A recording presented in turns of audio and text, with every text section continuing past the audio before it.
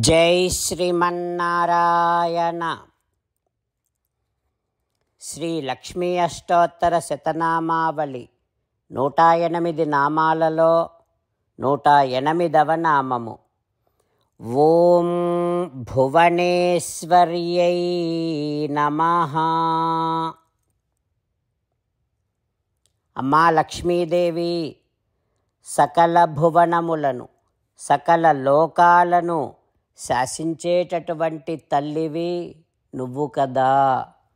మాతా లక్ష్మీదేవి నిన్ను పరమపురుషుడైన నారాయణుడిని మీ ఇద్దరిని శ్రీమన్నారాయణుడిగా సేవిస్తూ మిమ్మల్నే శరణు వేడుకుంటున్నా.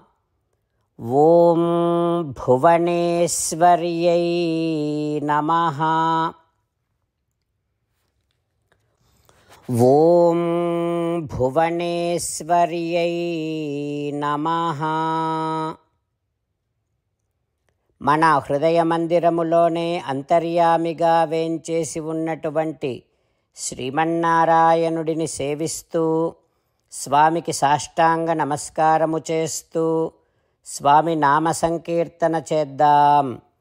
శ్రీమన్నారాయణ నారాయణ నారాయణ శ్రీమన్నారాయణ నారాయణ నారాయణ. శ్రీ వాల్మీకి రామాయణములో యుద్ధకాండలో శ్రీరామచంద్రుడు సీతమ్మతో అంటూ ఉన్నాడు సీత నీ నడవడిని గురించి నాకు సందేహం కలుగుతుంది. నా ఎదురుగా నిలబడి ఉన్నటువంటి నిన్ను చూడలేకపోతున్నాను సీత.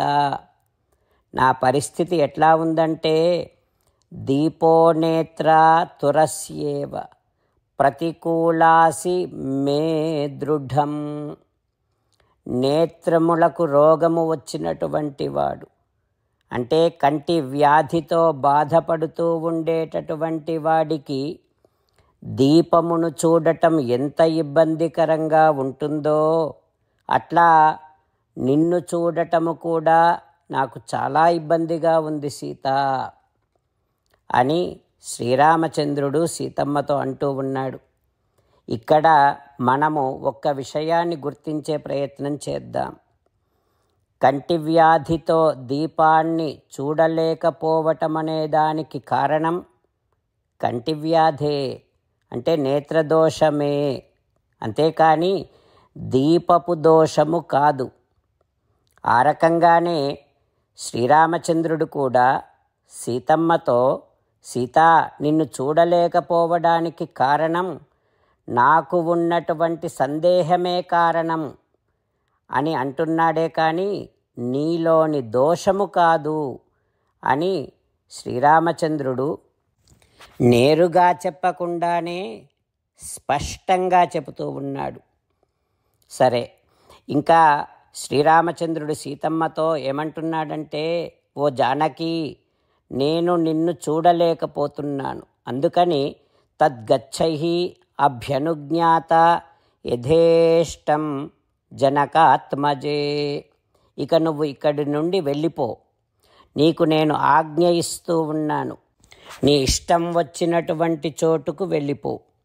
ఏతా దశ దిశోభద్రే ఈ చుట్టూ ఉండేటటువంటి పది దిక్కులలో ఏ దిక్కుకైనా వెళ్ళిపో.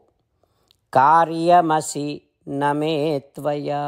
సీత ఇక నీతో నాకు పని లేదు సీత. సీత ఇతరుల ఇండ్లల్లో చాలా కాలము నివసించినటువంటి స్త్రీని ఎవరు స్వీకరిస్తారు సీత? అందులోనూ ఉత్తమ వంశములో పుట్టినటువంటి వారు అస్సలు స్వీకరించరు.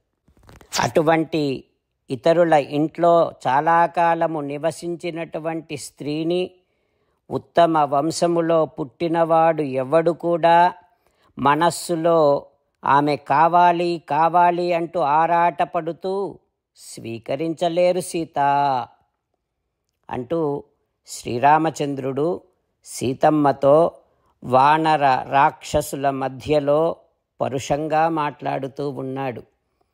ఆ తర్వాత ఏం జరుగుతుందో రేపు తెలుసుకుందాం.